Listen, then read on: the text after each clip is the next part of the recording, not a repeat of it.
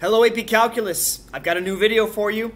It's all over computational continuity. So you guys saw how the graphs yielded different continuity values, the idea that um, I can just go off to the side and explain this really quick. If you had asymptotes,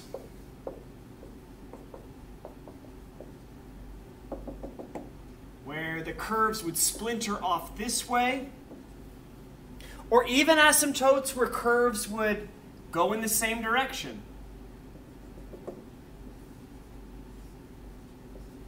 We would consider those to be non-removable discontinuities.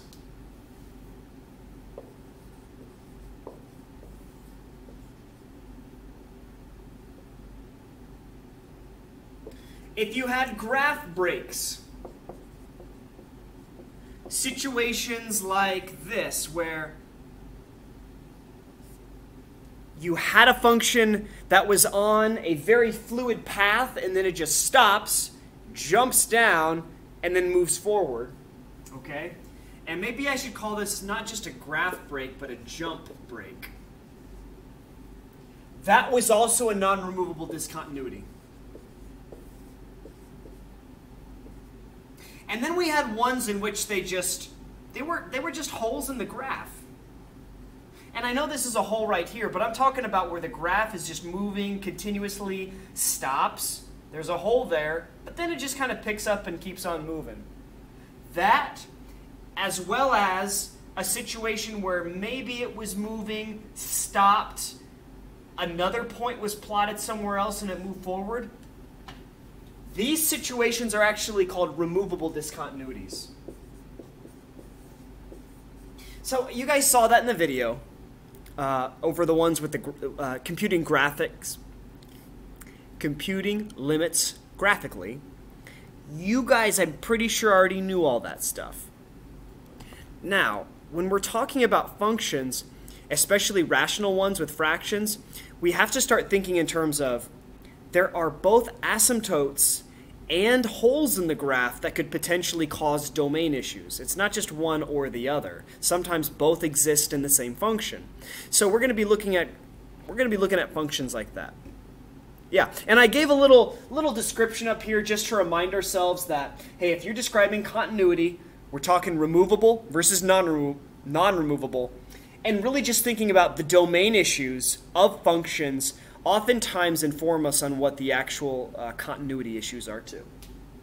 So trig functions, a lot of times they have domain issues. Even roots, you got to be greater than or equal to zero, so that would be a continuity issue as well.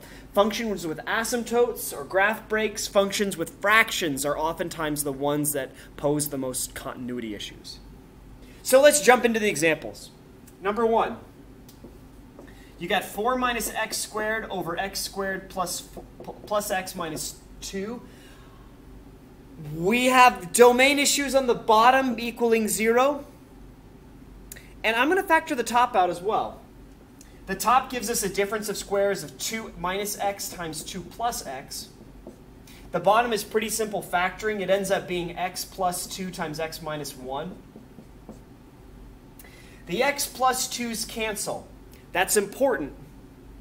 It's important to note that the domain issue x plus 2 couldn't equal 0 was canceled out from the top. Because what that means is a canceled divided out factor is a removable discontinuity.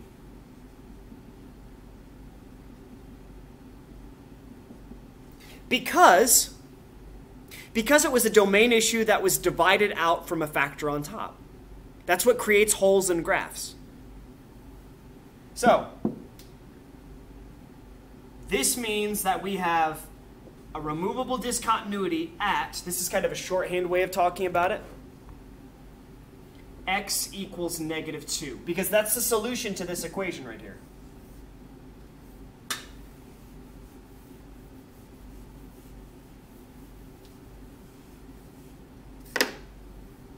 Now, what do we do with the rest of this? Well, there's still an x minus 1 on the bottom, because it wasn't canceled out, we can assume that it's an asymptote on the bottom. So it's one of those little dash lines where we're going to be approaching some infinity from the left and from the right. So I'll put it over here. x minus 1 equals 0 is a non-removable discontinuity.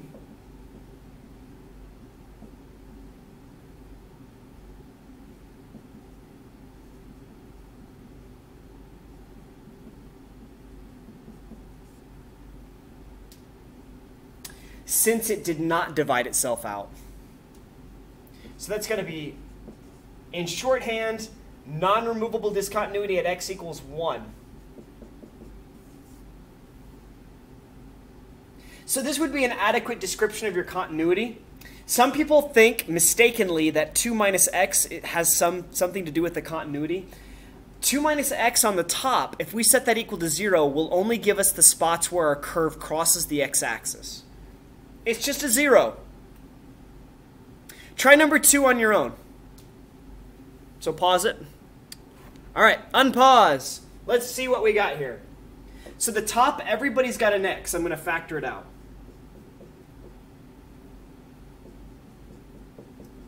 On the bottom, everybody's got an x, so I'm going to factor that out. The top is pretty simple quadratic to factor, x minus 3, x minus 1.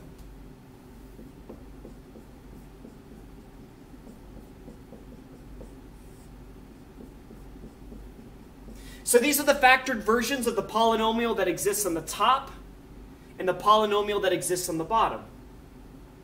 We can cancel out this x and this x.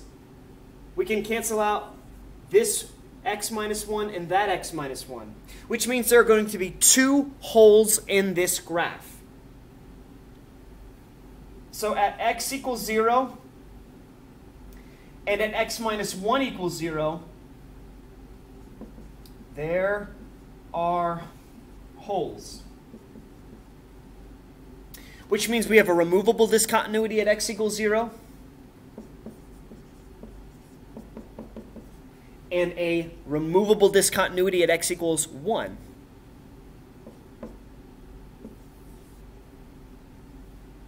There are no non-removable discontinuities of this function because there's nothing left on the bottom x-wise to, to give us sort of like this divide by zero error. In fact, what we've just discovered is that this original rational function is actually a linear function this is this is basically following the linear pattern of x minus 3, except there are holes in that line at x equals 0 and x equals 1. Interesting stuff.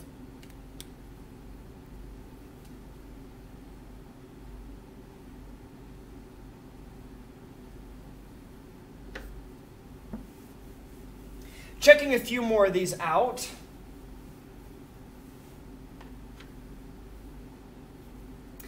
Can you guys see this one? Let's get back to it. So h of x over here, uh, you got two separate fractions that don't have common denominators. Um, in your math experience, you've kind of been trained to say, find common denominators and make one fraction.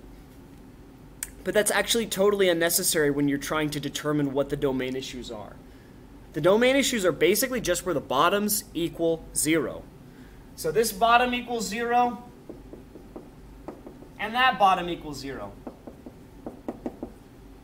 You can't divide them out by finding common denominators. So you'd solve these using good old-fashioned algebra. And you probably, you guys probably don't even need to show this work. Early Math 1 stuff. So these are the places where technically, yeah, it can't equal zero because those would be domain issues.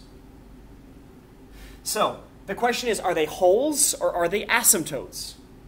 Well, we didn't divide them out, so they're asymptotes, which means they're non-removable discontinuities at x equals negative 5 and x equals 3 sevenths. All right, now in the textbook, there's a nice theorem about polynomials that basically state if I got a polynomial, its a polynomial function is continuous. There's a polynomial, which means it's continuous everywhere. No removable or non-removable discontinuities at all. If you encounter that situation, you just say it's continuous everywhere.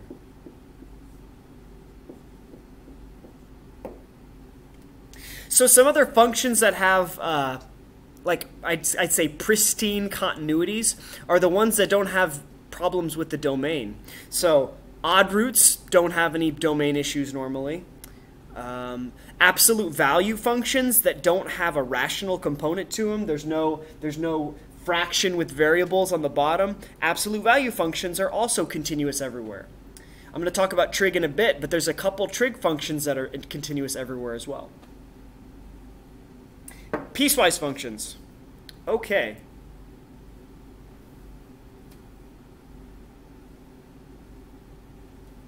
We got three of them here.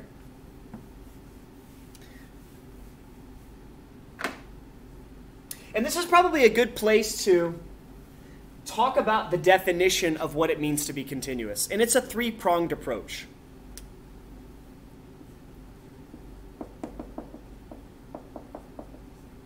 And I think it's probably not a bad idea to talk about the actual textbook definition that exists in section 2.5.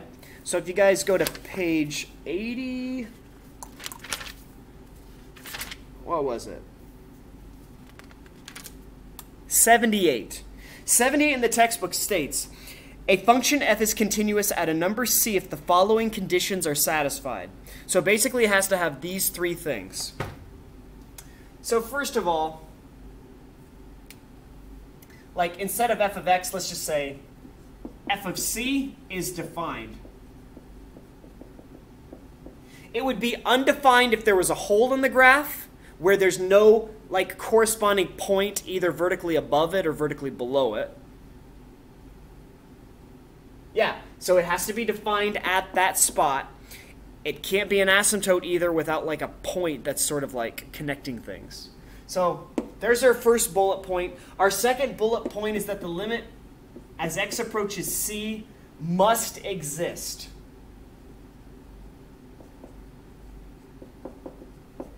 And here's the thing, we have to almost look at this as sort of like a code saying, hey, what does it mean for a limit to exist?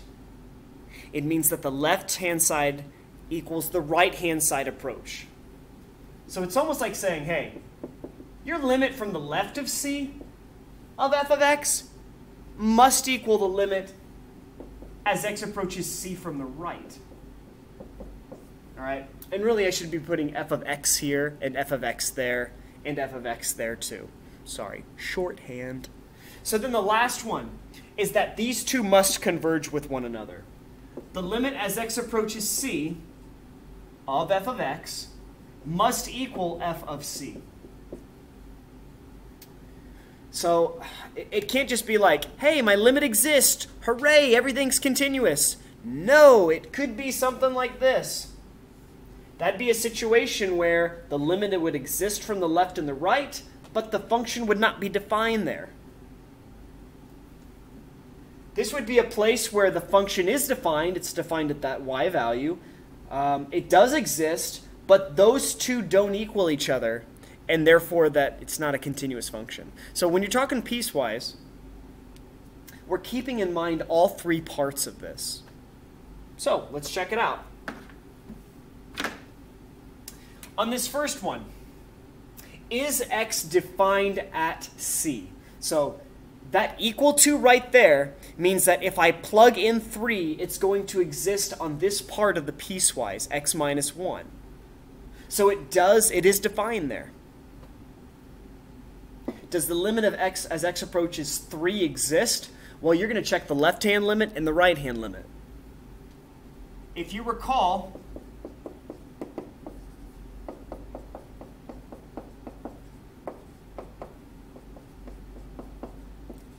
the less than corresponded to a left-hand limit. The greater than corresponded to a right-hand limit, just based on the behavior.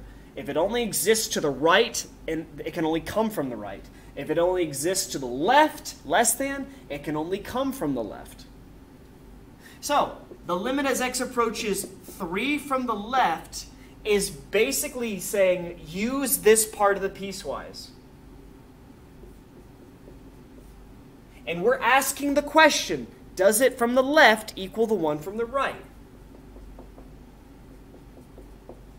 Which is the 3x minus 7.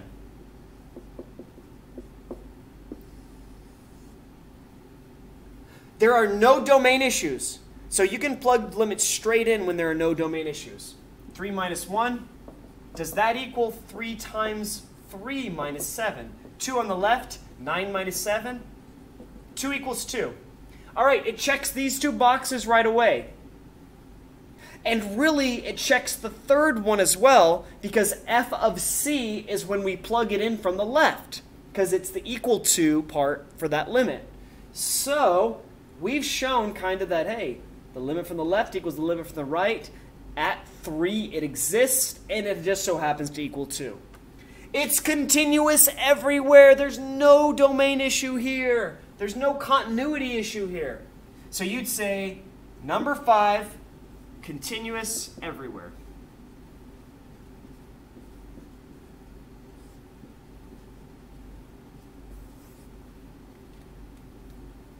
Now, this actually isn't going to work for number 6.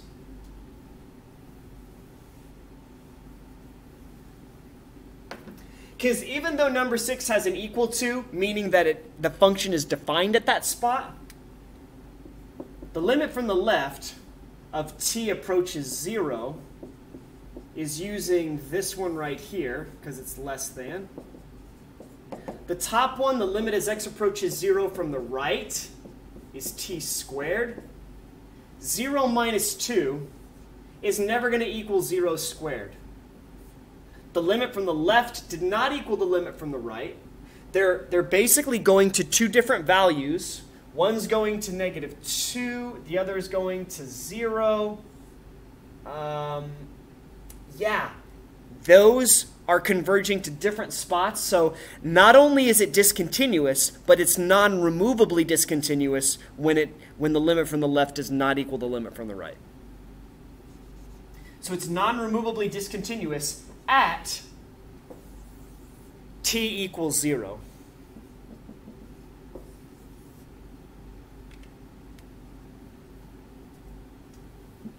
All right, last one for this video because we are approaching 18 minutes. Yikes. Sorry, the, the, the explanation at the beginning was a little bit bloated. I think that's what made this what made it a little bit too lengthy. Anyway, here's number seven. We've got a parabolic function, a parabola, that basically exists everywhere but 3. And then you got a function below that that just is sort of a point at y equals 7. So you can think about this graphically. We got a parabola. It's going to be centered on 1 z, yeah, 1, 0, because this factors to x minus 1 squared.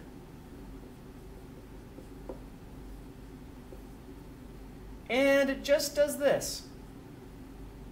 Over 1 up 1, over 1 up 1, over 2 up 4, over 2 up 4. So this is where it doesn't exist. At x equals one, two, three, it's a hole.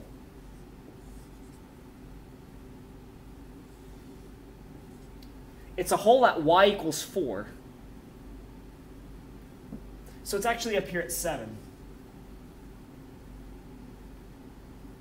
So the limit from the left equals 4. The limit from the right equals 4. But the function is defined at 7, at y equals 7. So you would say the limit as x approaches 3 from the left of f of x equals 4. The limit as x approaches 3 from the right of f of x is 4. But then the function at 3 actually equals 7. So the conflict between the limit and the function's definition at that point means that it is discontinuous there. But, as you can notice, this isn't a non-removable discontinuity. It's removable. It's just a hole in the graph with a point randomly spotted at a different place.